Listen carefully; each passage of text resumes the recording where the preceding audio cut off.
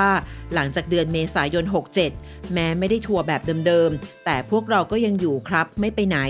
ชีวิตเราคือดนตรี ทุกครั้งที่เราได้เล่นดนตรี คือความสุขที่ไม่สามารถหาอย่างอื่นมาแทนที่ได้ แต่เราจำเป็นต้องลดบทบาท เพื่อความเหมาะสมกับอายุ และสุขภาพที่ตรากตรำมาอย่างยาวนาน วง Eagle หยุดไปนานมาก โดยใช้คำปลอบใจแฟน ๆ ว่า Long Holiday แต่เขาก็กลับมารวมตัวกันอีก หลังจากหยุดไป 30 ปี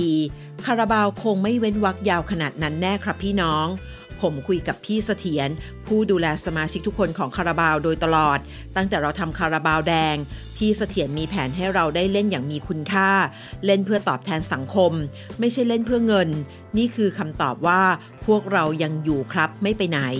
วันดีคืนดีก็เจอกันอย่างแน่นอนครับพี่น้อง ขอบคุณแฟนๆทุกท่านที่มาชมเราในค่ำคืนนี้ ผมขอจารึกความทรงจำอันงดงามนี้ไว้ในหัวใจตลอดการครับพี่น้อง ด้านเล็กคาราบาวก็เผยว่า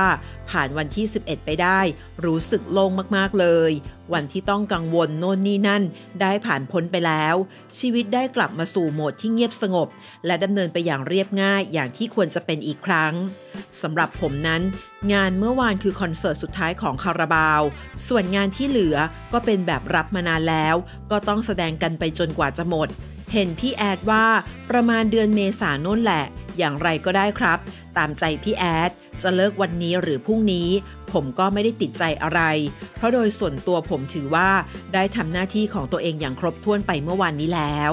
วันนี้เชิญทุกท่านที่มาชมเมื่อวาน แสดงภาพและความรู้สึกที่ท่านมีต่อคาราบาวกันได้อย่างเต็มที่ ผมจะอ่านทุกคอมเมนต์ครับ สวัสดีครับ